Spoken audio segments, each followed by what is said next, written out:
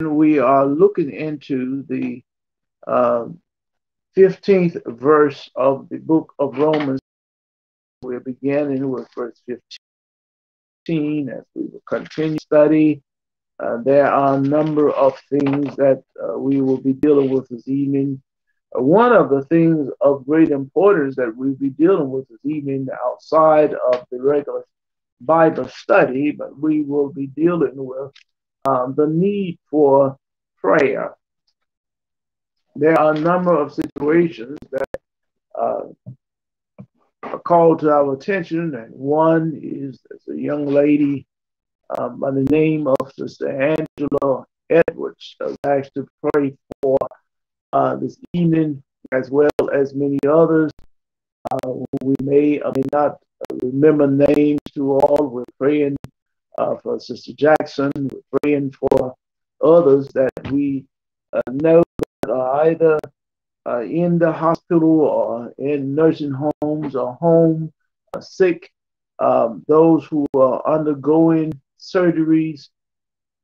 Uh, we're praying for families that are dealing with uh, the loss of loved ones. just a few days ago, a shooting in uh, Uvalde, Texas.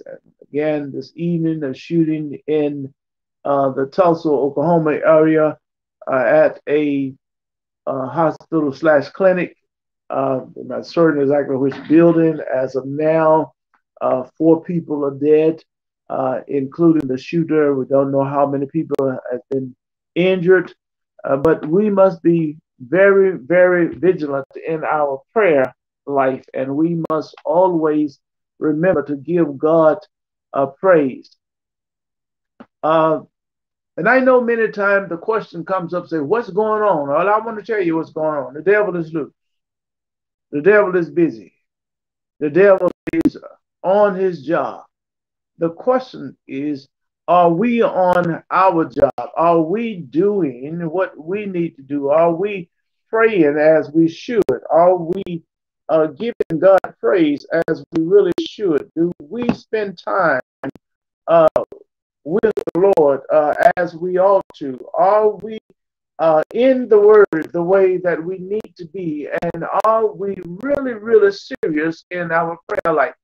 Now, being serious in your prayer life, uh, when I'm talking about serious, I'm talking about being seriously involved in praying the way that God say pray. Many times we pray and seriously, but we're not on uh, line with what the Lord say. And so, even though you're serious, and even though uh, you mean what you say, you're not praying according to uh, the word and showing faith in God, you still lose the battle. So let us pray. Father, in the name of Jesus, we thank you, dear God, for your word tells us, oh God, that if we pray and believe and don't doubt, having faith in God. We have faith of God. We trust God to be all that he say he is and that he is a rewarder of them that diligently seek him. Father, we thank you, Lord, that you teach us through your word that when we pray to you, we believe and do not doubt and we pray according to your will, we receive what we ask for. Now, Father, we're asking for peace of mind. We're asking for comfort. We're asking for strength. And Lord, as we get into your word, we're asking, dear God, that you reveal to us, oh God, the truth of your word, that we will get clarity and understand, oh God, how to apply your word in our lives, that we, Father, can be the people that you have called us to be in the name of Jesus, we pray. Amen and amen. Again, thank you for joining us this evening for our Wednesday night Bible study. Romans chapter 11, verse 15 is where we begin on this first day of June uh, 2022, Wednesday evening Bible study. We begin in verse 15 of Romans chapter uh, 11.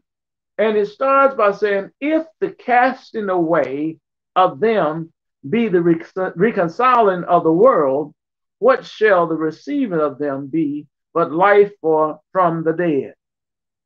Now, for if the putting away from God of the Israelites, of the people of Israel, uh, be the reconciling, the bringing close to God, or back to God, the world, what shall the receiving of them be but life from the dead? Now, all of the world was once in harmony with God through Adam. But when Adam disobeyed, all of the world was put in disarray and enmity or made uh, in opposition to God. But now we have Israel, who is God's chosen, a nation that was chosen by God, who is now being talked about as being a castaway, put away from God. So let's look at this. For if the putting away of Israel from God be the reconciling, the bringing of the world back to God, what shall the receiving of them, Israel, be but life from the dead? So then, God will receive Israel. Well, we can get into a lot of discussions about why, how, and when, but the answer is is God. And God has a way of doing things that we will never be able to understand. So there are some things that God does that we are not to worry ourselves about understanding, but just accept what God says. But let's look a little farther and we'll get some understanding, but we will never get the fullness of it. Verse 16 say, For if the first fruit be holy. Now, this first fruit be holy is talking about Abraham. The lump is also holy. That's the seed of Abraham, all of the, the descendants of Abraham. And if the root be holy, so are the branches. Now, uh, remember now, when we look in John uh, chapter 15, Jesus tells us that he is the true vine and his, his father is the husbandman, and we are the branches. And then he goes on to tell us that we can do nothing as branches without the vine. So here the question is what happens if the first fruit be holy? The lump is also holy. And if the root be holy, so are the branches. Now, in Leviticus 23 and 20, it speaks of the bread of the first fruit as a wave offering before the Lord. Now, this offering is an offering that was made unto the, the priests, and they hold it up before God and call a wave offering. Uh, uh, and, and this is what was done.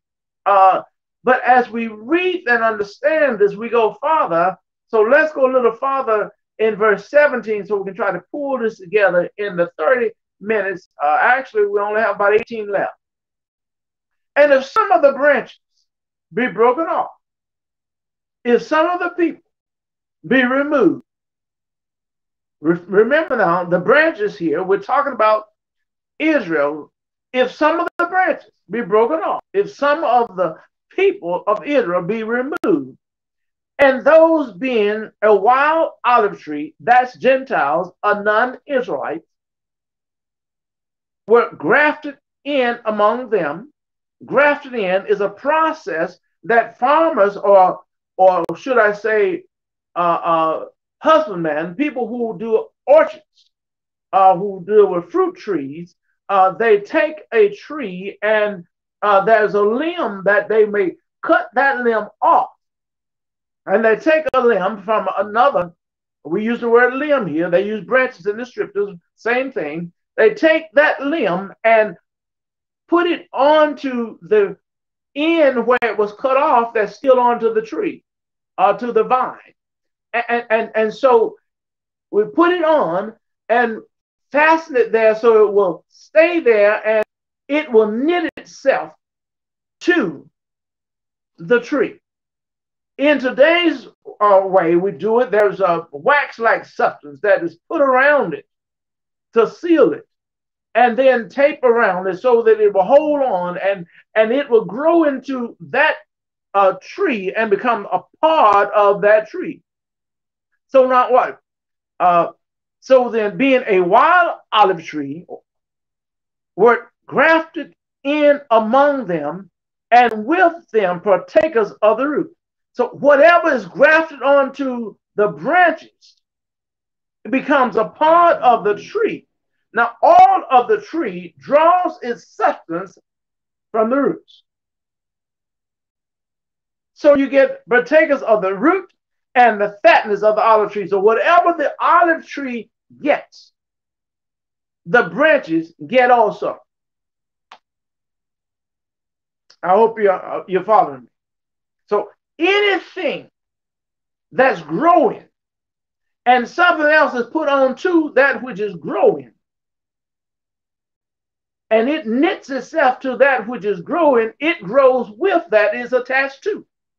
And it draws from that and becomes a part of that. And in this term, the olive tree, which is uh, the body of Christ. But verse 14, now verse, verse 18 here gives some instruction to uh, those of us who uh, have this mindset that I am a child of God because I believe in Christ. And so the Jews who do not believe, uh, they are excluded. Watch yourself. Don't get beside yourself, as old folks say. Verse 18 says, Boast not against the branches.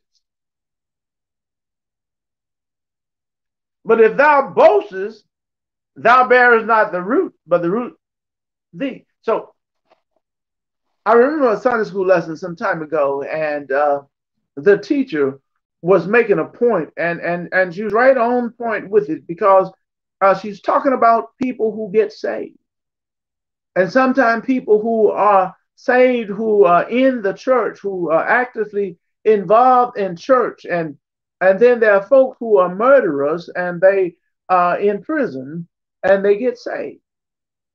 And sometimes we would get upset because that person in prison got saved, uh, murdered uh, someone, and that person they murdered was our relative, somebody we were real close to.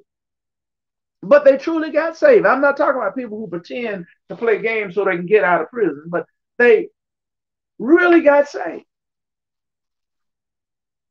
So the question was, and he was asking the question like people would who are listening to this teaching would say, You mean to tell me that I'm going to have to share heaven with them if you go?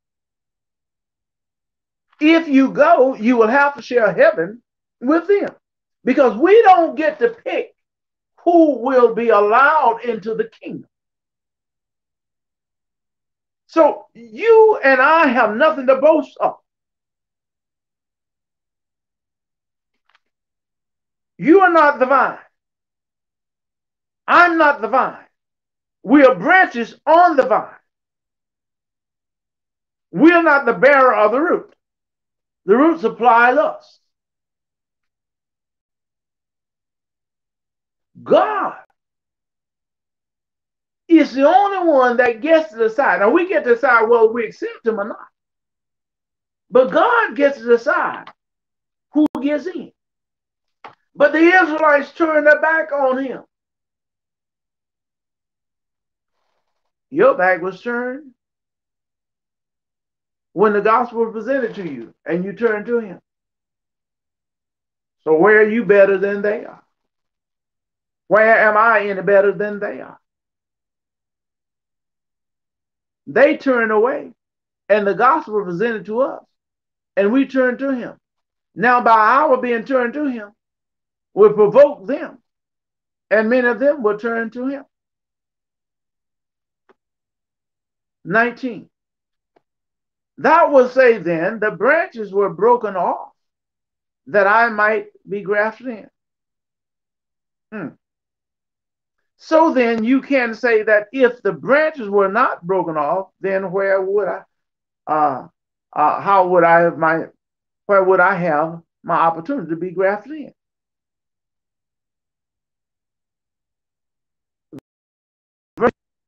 Because of unbelief. And thou standest by faith. But die minded now. Don't get beside yourself. But have fear. There's reference, reference, fear. Let's look at Romans 12 and verse 16. We have to watch this being high minded. 12 and 16 say, Be of the same mind one toward another. Mind not high things, but condescend to men of low estate. Be not wise in your own conceits. We have to watch. Sometimes we get to thinking that we are more special than anybody else. Sometimes it happens throughout the body from one denomination, folks thinking that I'm more holy than anybody else. I have a right, a front seat with God, and nobody else has. But we have to watch it. We have to watch ourselves. Now, let's go to the book of Philippians, uh, chapter 2, and verse 12.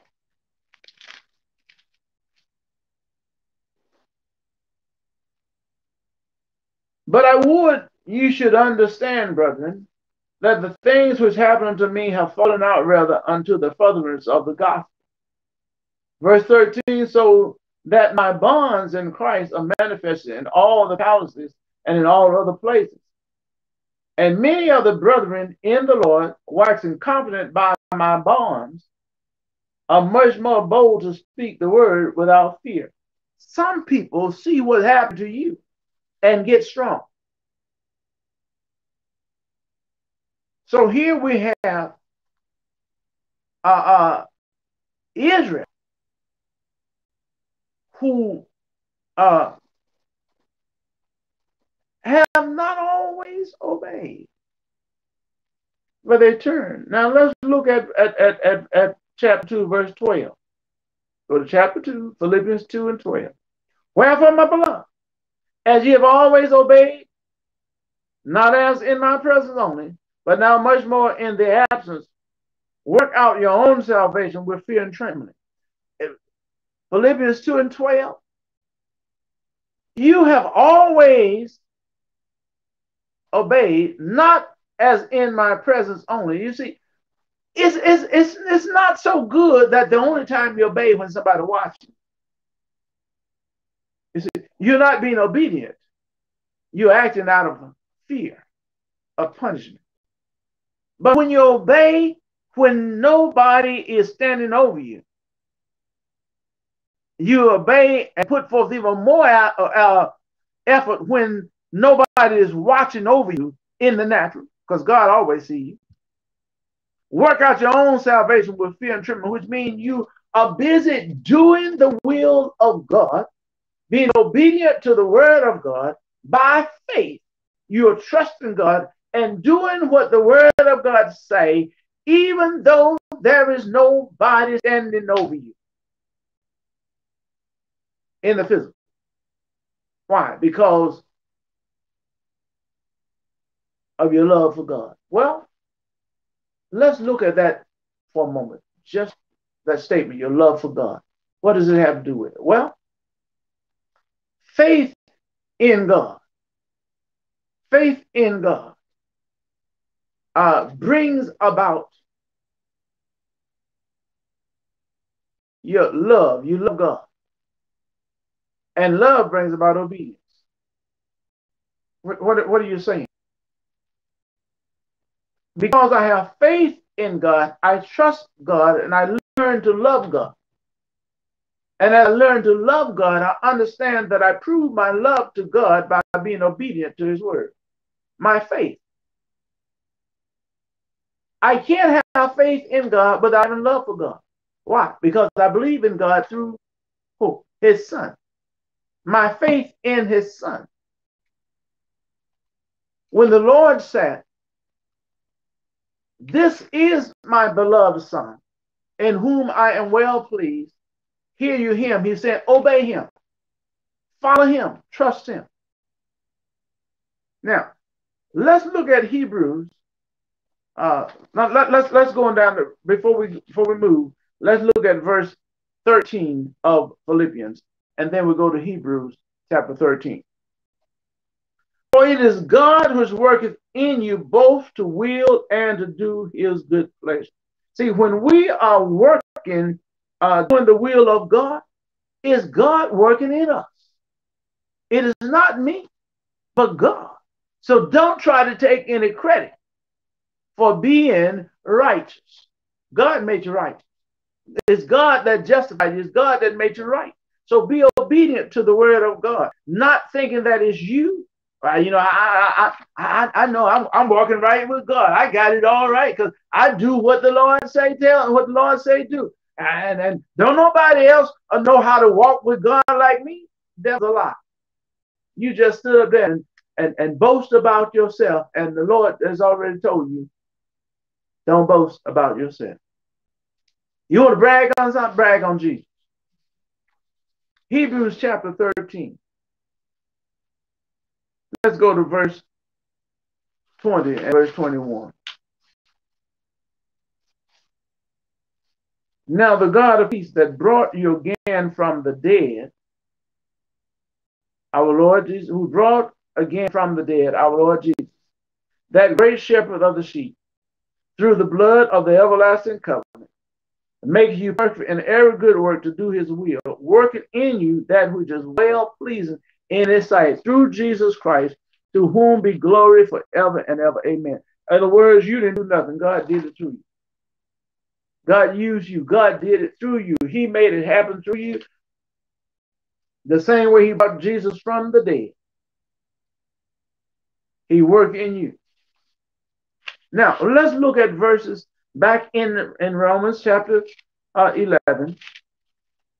Let's take a quick look at verse 21 uh, and 22.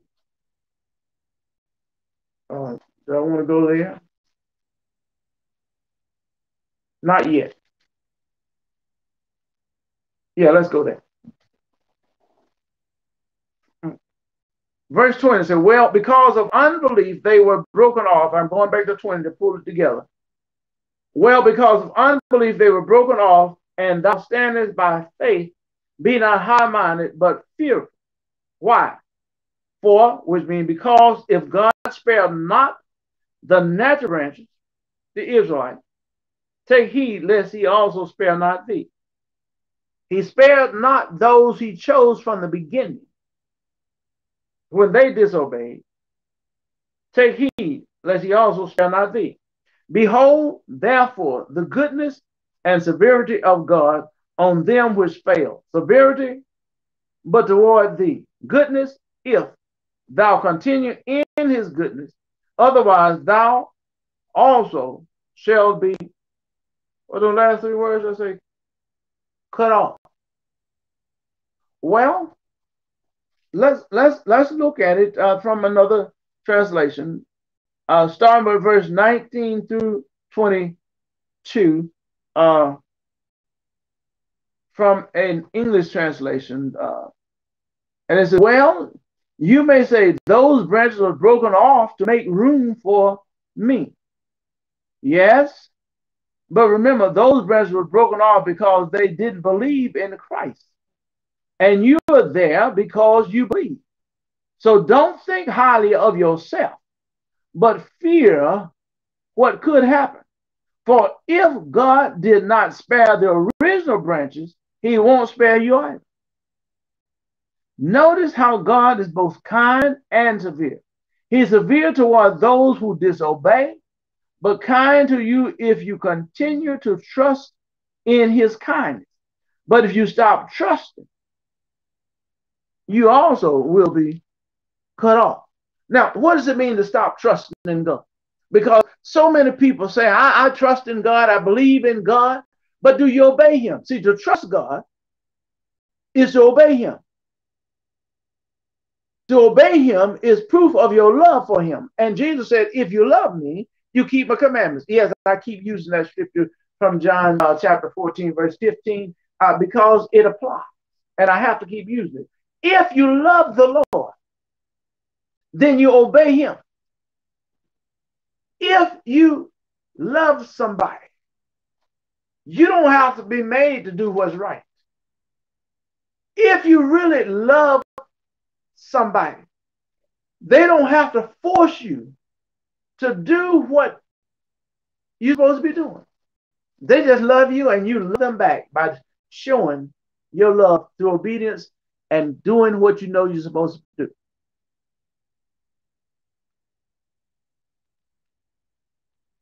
So then let, let's look at this last verse 23.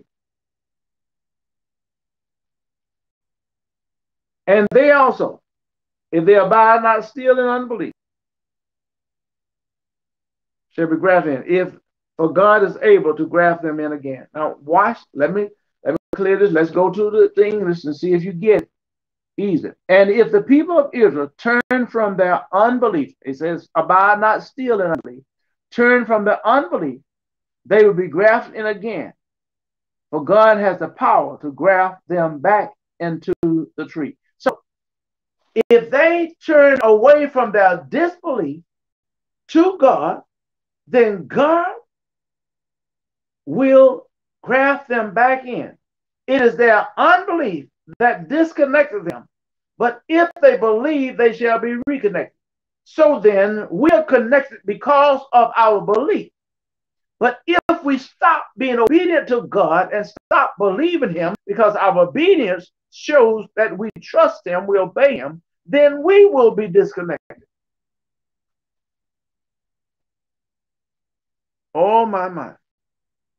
So so so many times people want to declare faith in God, yet living disobedient to his word. It doesn't work. It doesn't work. If you truly have faith in God, you learn to obey him and you desire to know more about how to live for him that you may walk with him because being justified by him, you shall live by faith. That's trusting completely in the Lord.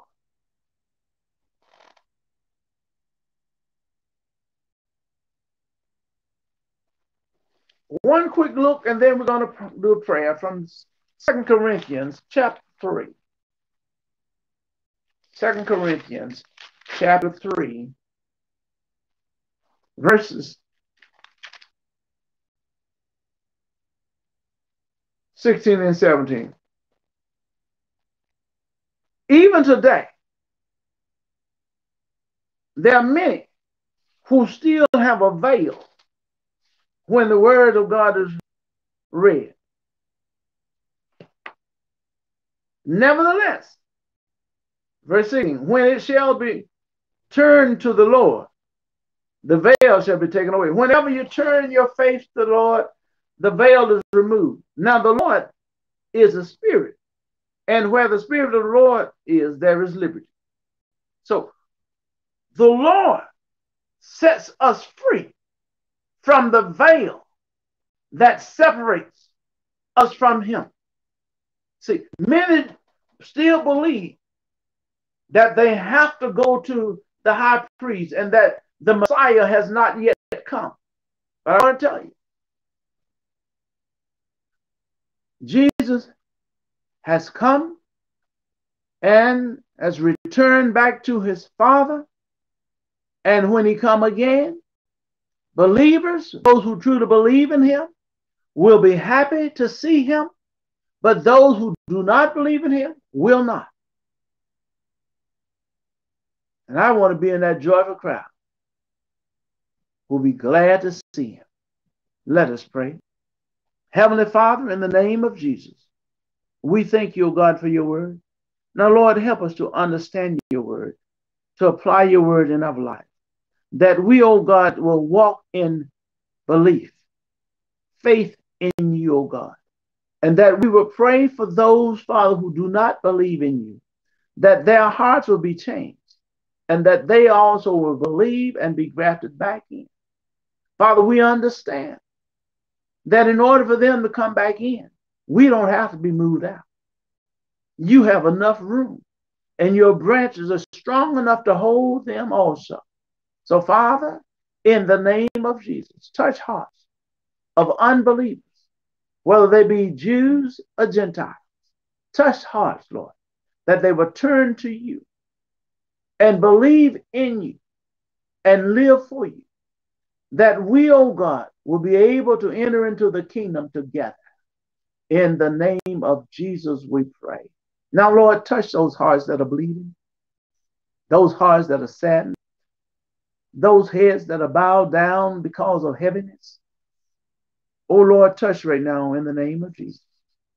Those individuals, dear God, who are laying in the hospital rooms, whose bodies are aching with pain, broken and bent and torn, Father, touch right now. For Lord, we know that you and only you can heal. Heal, Lord. You use the hands of doctors to do some awesome work. But Father, you're the healer. You, oh God, is the one that heals. So Lord, touch right now. Heal broken hearts as well as broken bodies. Heal, oh God, torn spirits as well as torn flesh. Heal, Lord. Restore, oh God, salvation as well as sanity. In the name of Jesus, we thank you, Lord, for victory. Now, Lord, we thank you for a good night's rest. And Father, while we sleep, we thank you, dear God, that your spirit is at work, healing, delivering, and setting free. In the name of Jesus, we give you all the honor, all the glory, for it's yours, Lord, and we take none for ourselves. In Jesus' name, amen. Amen. God bless you, my brothers and sisters. Uh, have a awesome night. Rest well with your mind on Jesus, and he will keep you in perfect peace, and your sleep will be sweet. And until next time, remember, we walk, walk by, by faith and, and not by sight. sight. Good night.